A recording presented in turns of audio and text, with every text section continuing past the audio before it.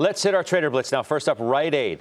Cut the outlook, stocks down. Jimmy, what do you make of it? Uh, well, it's had a terrible chart to begin with, and I think, you know, the problem here is they're putting the blame on generic pricing and how that's affected their pharmacy. Two things that worry me about that. One, Rite Aid is more the, than just their pharmacy sales.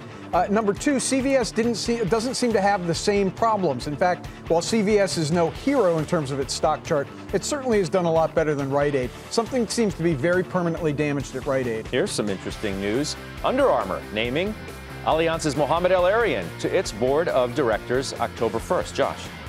Well, I am a huge fan of Mohamed El-Erian, so I like to hear this news. You won't find a more globally well-informed person out there. Nice guy, everyone gets along with him. I'm not sure what he's doing at Under Armour specifically, but I will count on seeing a lot more New York Jets merchandise in stores everywhere. I don't know if that's a good thing or a bad thing for you. All right, Newell Brands is on pace for its worst day in more than six months.